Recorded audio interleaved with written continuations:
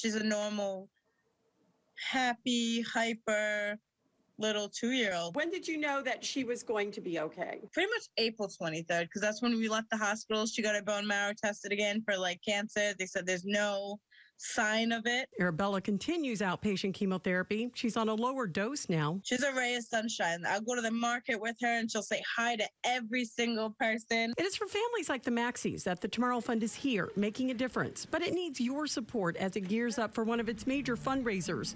This year, it's being called the Stroll and